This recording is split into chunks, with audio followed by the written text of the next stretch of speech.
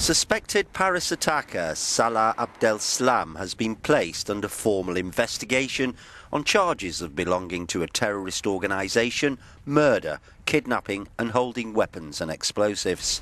The 26 year old was extradited from Belgium to France early on Wednesday. I think it's important for everybody to know that he wants to explain himself. So now we're at the very beginning of the investigation and the legal process.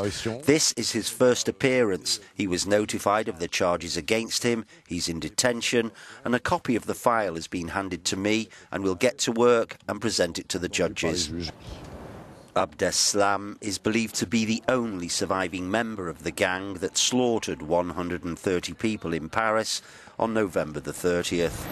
Three teams, made up of three individuals, carried out the Paris murders. Seven died at the scene.